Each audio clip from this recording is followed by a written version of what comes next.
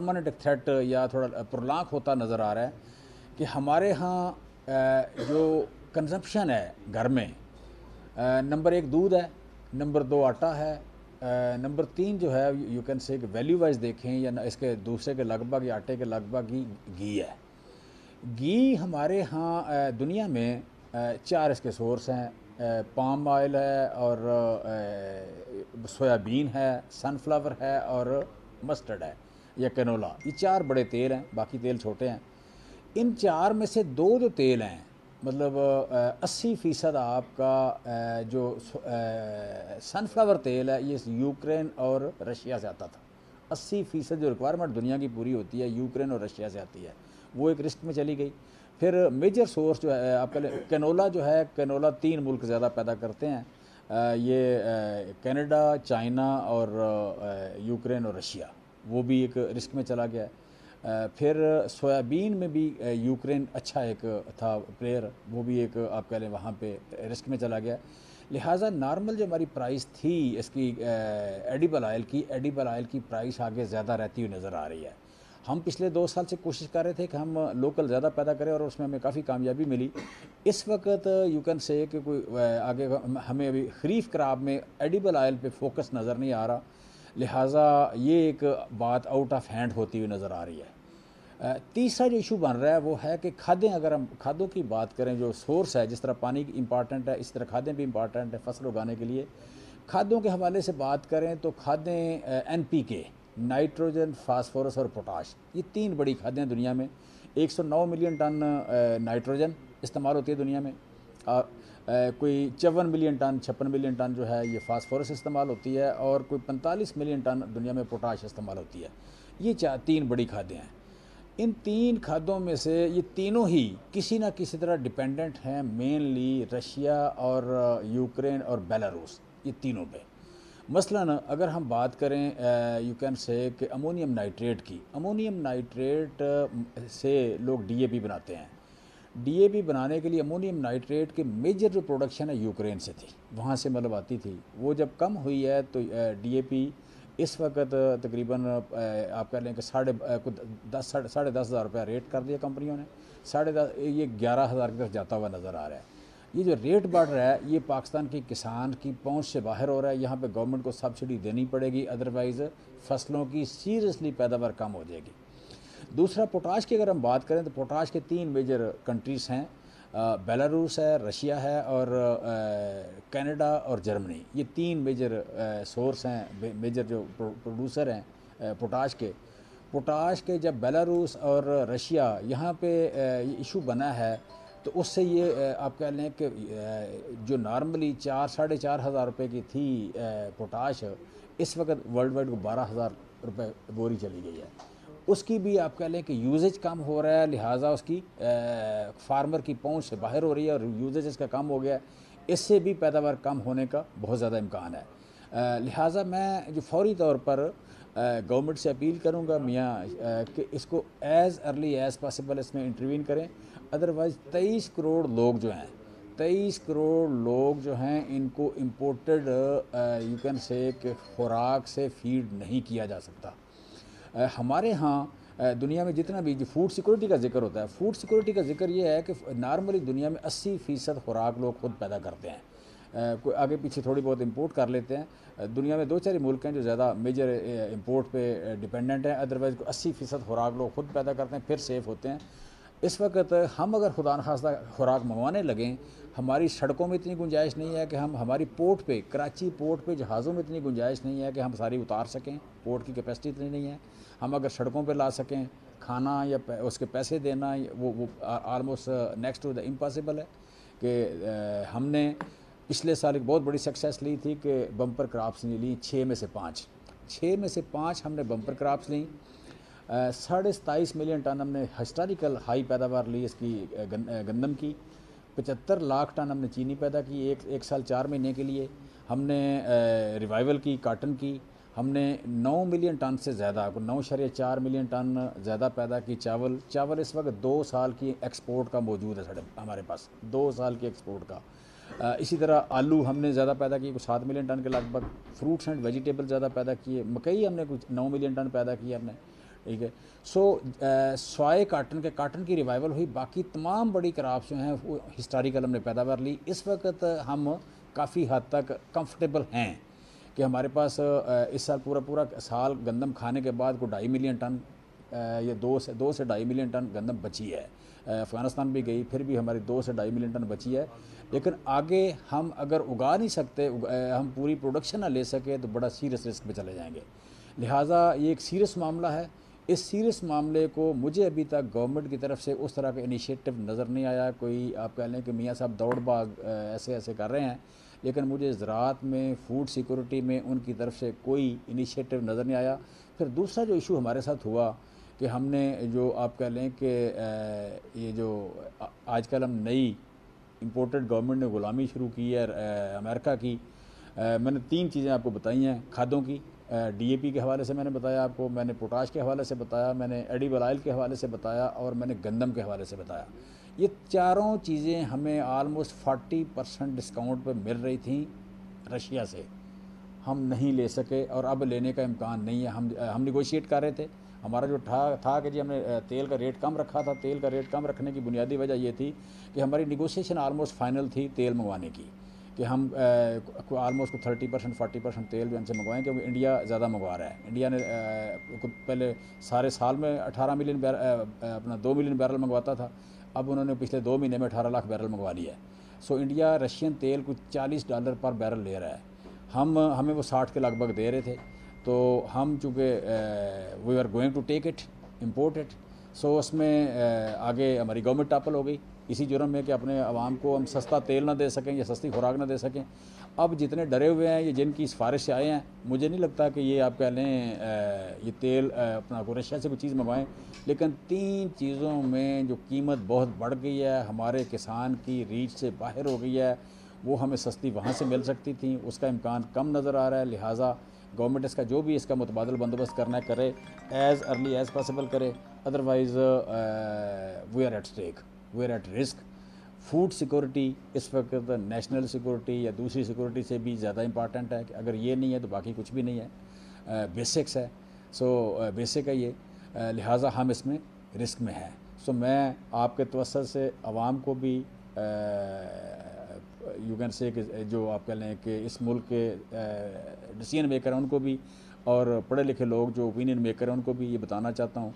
कि food security का challenge जितना हम समझ रहे हैं उससे ज़्यादा है और इनिशिएटिव या आप कह लें कि मूवमेंट या गवर्नमेंट की उसमें तवज्जो जितनी हम समझते उससे बहुत कम है। थैंक यू वेरी मच सवाल जो चेयरमैन की जो उनका बयानिया है उनमें ज़रा और नरमी पैदा कर दी है। अभी आपने कहा कि उनकी सिफारिश से आए हैं पहले फ़ूड सिक्योरिटी वगैरह बाकी फिर सियासत बात में कर पहले फ़ूड सिक्योरिटी पे अगर कोई पहले बाकी को अंडरस्टैंड करने वाली बात है, कर लें। तो अगर नहीं है तो फिर वेलकम सियासी में सियासतदान सियासी सवाल करेंगे, क्यों नहीं करेंगे हाँ।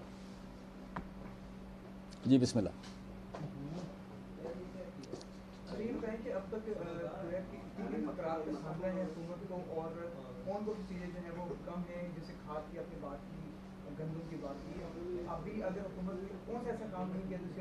रोशनी इनमें कोई भी नहीं किया इनमें कोई भी नहीं किया। बेसिक जो बात है देखें पहली बात तो एनर्जी है ना। इनर्जी अगर नहीं है तो फिर आपकी हर चीज़ स्टैंड स्टिल हो जाती है। सो so, अगर आपके पास डीजल नहीं है तो बेसिक डीजल है। कि उससे आपने खाद भी लेनी है तो उससे मूव करनी है पानी पंप करना है उससे करना है आपने कोई ट्रैक्टर चलाना है उससे करना है। लिहाजा वो अगर नहीं है तो फिर इट मीन्स कि आप अ, कुछ नहीं कर रहे। दूसरा है कि फर्टिलाइज़र के एंड पे भी कुछ नहीं हुआ। तीसरा जो है कि तीसरा जो काम हम कर रहे थे रिगार्डिंग गंदम की इंपोर्ट और एडिबल ऑयल की और दूसरे ऑयल की, वो रुक गया, वो रिवर्स हो गया। सो कुछ काम रिवर्स हो गए, कुछ हुए नहीं हैं और जो जो बड़ी बेसिक बात है, उस पर काम नहीं हो रहा जी।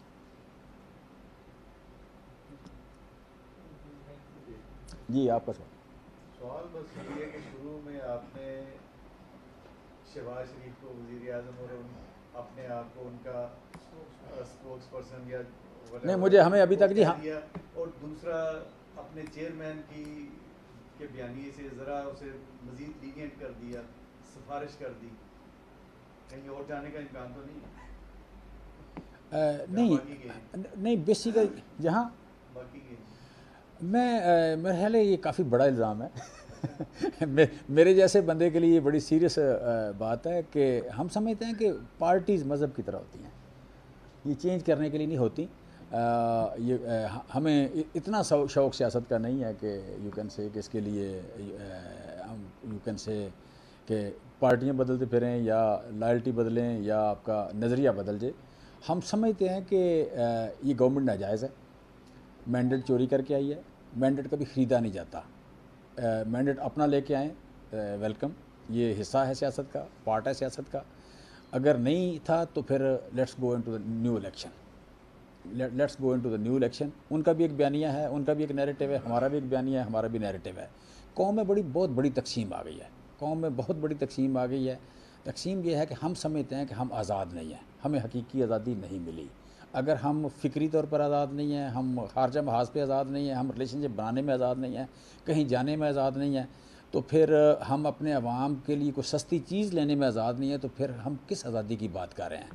लिहाजा और वो समझते हैं कि everything is going well everything is right तो ये इतन, इतनी बड़ी तकसीम है कि मैं समझता हूँ इस तकसीम के होते हुए अब न्यू मैंडेट की बड़ी अशद ज़रूरत है कि न्यू मैंडेट लेके आएँ। अगर बयानिया उनका ठीक है अवाम उनको मैंडेट देते हैं वो आ जाएँ। अगर हमारा बयानिया ठीक है अवाम हमें मैंडेट देते हैं, हम आ जाएँ, उसके मुताबिक अपनी पॉलिसी चलाएँ। हम समझते हैं कि ग़ुलाम दुनिया में तरक्की नहीं करते। ग़ुलामी का और आज़ाद और तरक्की का कहीं जोड़ नहीं है। ग़ुलामों को सिर्फ़ अपना घर बनाने की इजाज़त नहीं तो उनको सिर्फ़ खाना अच्छा दिया जाता है ताकि सर्व अच्छा कर सकें।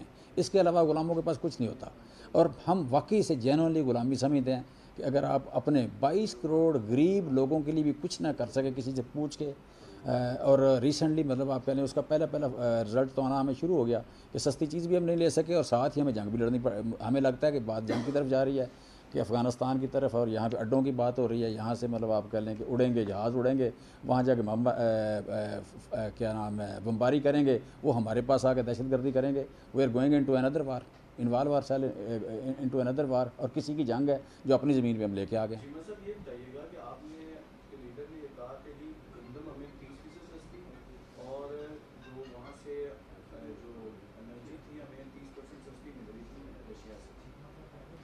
साथ एग्रीमेंट हुआ हुआ है ईरान का पिछले दस साल से और हमारे बॉर्डर के ऊपर लाकर अपनी पाइपलाइन बिछा के रखा हुआ है।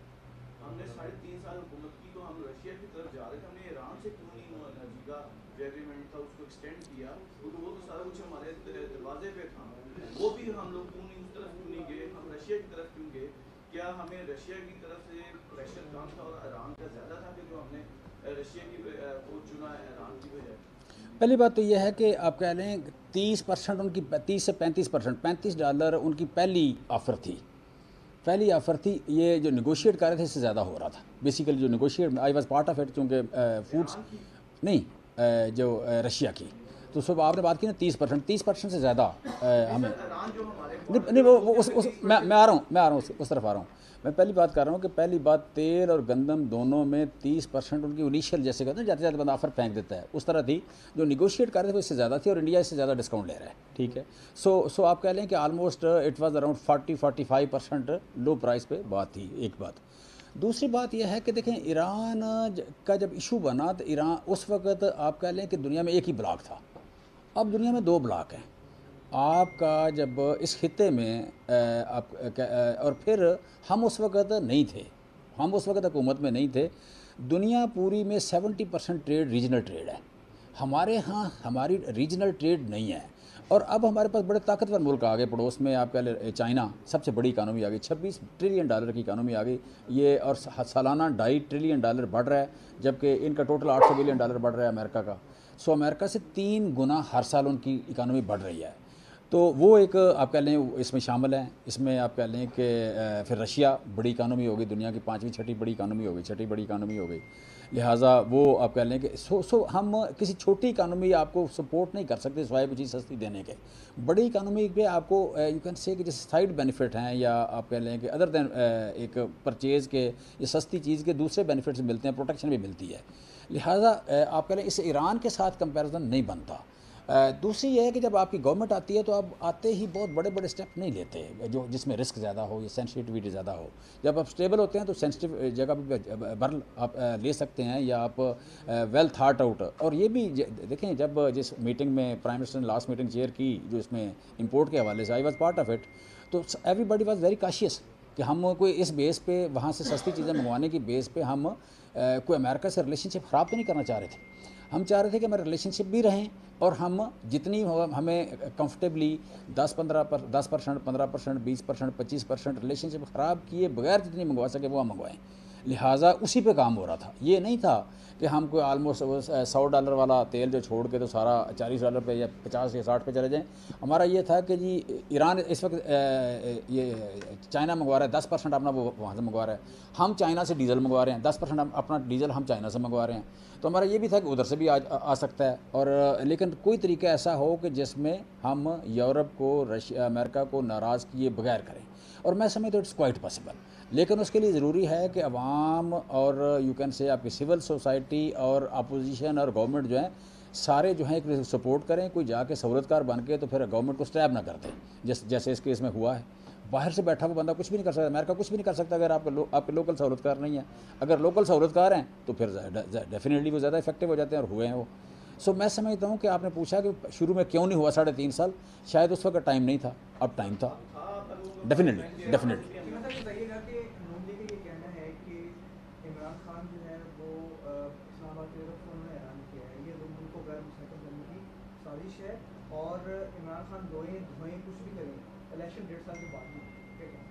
मैं समझता हूँ कि उनमें इतनी ताकत नहीं है कि वो डेढ़ साल निकाल सकें उनमें इतनी ताकत नहीं है कि वो डेढ़ साल निकाल सकें, उन्हें इलेक्शन और दूसरी बात ये कि जो उनको लेके आए हैं वो भी शायद ये अफोर्ड ना करें। इतनी बड़ी लाइबिलिटी इतना बड़ा बैगेज है जिसमें खुर्शीद शाह से लेके, बिलावल से लेके जरदारी साहब से लेके यहाँ पे भी जितने भी आप कह लेंगे नैबज़दा जितने भी हैं, वो सारे मौजूद हैं।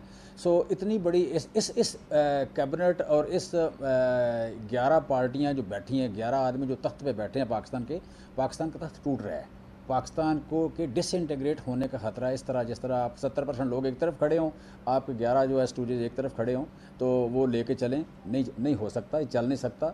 ये जितनी जितनी डिले होगा बिटरनेस बढ़ती जाएगी। जितना डिले होगा बिटरनेस बढ़ती जाएगी और बिटरनेस का कभी भी रिज़ल्ट अच्छा नहीं होता। इस मुआशरे में जो नफ़रत है परमानेंट हो जाती है। सो मैं समझता हूँ इसको जितनी जल्दी हम समेट लें कंफर्टेबली या आप कह लें कि बगैर किसी नुकसान के, उतना अच्छा होगा। अगर वो नहीं करते, फिर क्या करेंगे आप लाहें बल्कि और देखें हमने उनको ये नहीं करने देना। ये जी गिरा देंगे गिरा देंगे हम इंशाल्लाह गिरा देंगे इसमें हमें कोई डाउट नहीं हमें इसमें कोई डाउट नहीं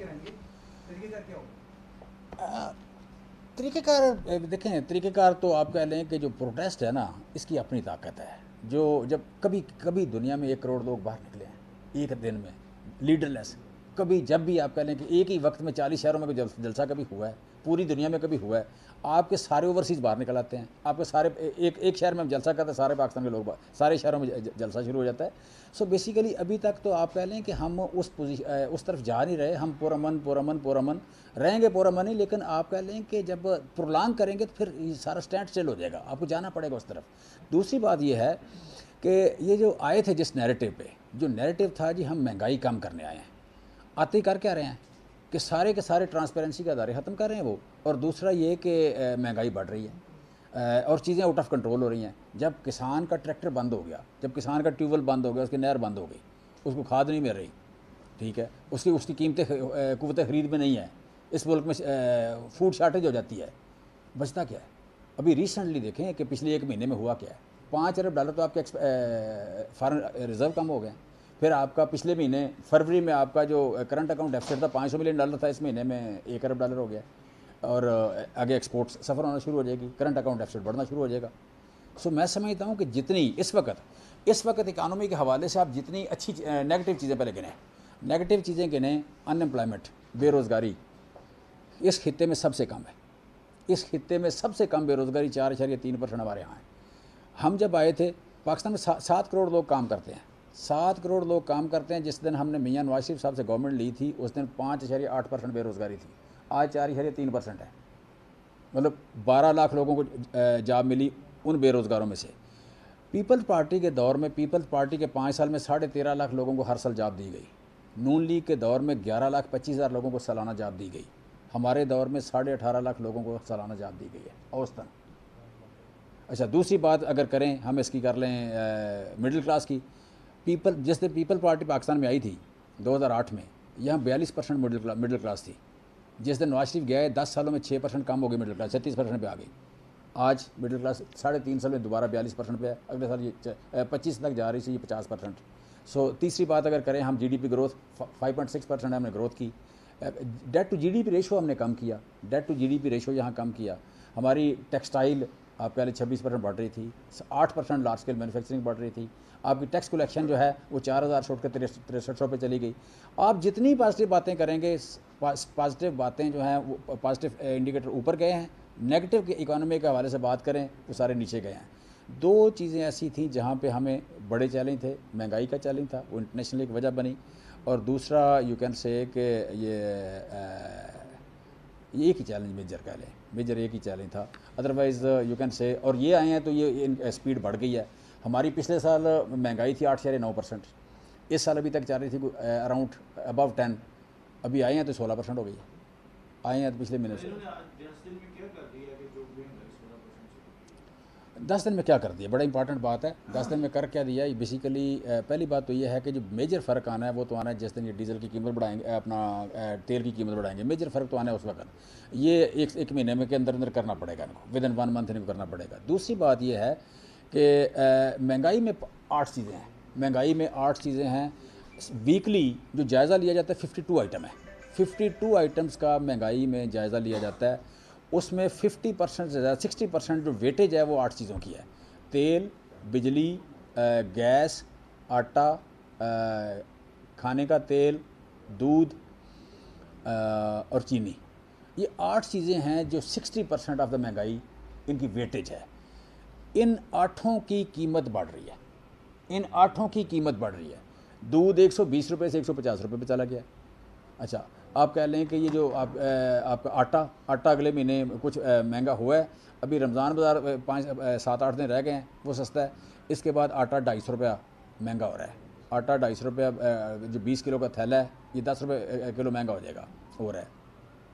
इसके अलावा चीनी महँगी होगी इसी रेट पे रहेगी, क्योंकि एक्सेस है, इसी रेट के लग रमज़ान है जी, रमज़ान को छोड़ दें। रमज़ान रमज़ान हमेशा स्पेशल होता है, रमज़ान को हम नॉर्मल नहीं ले सकते। अच्छा आगे आ जाती है बात, घी घी तीस रुपये किलो बढ़ गया। एडिबल बिजली पाँच रुपये पाँच रुपये यूनिट बढ़ गई है। आगे आ गया आपका तेल, डीजल और पेट्रोल वो भी बढ़ रहा है। एलपीजी आपकी बढ़ गई है। सो बेसिकली आपकी आठों के आठों आइटम बढ़ रहे हैं। लिहाजा जो महँगाई है, ये ज़्यादा तेज़ी से बढ़ेगी। Thank you very much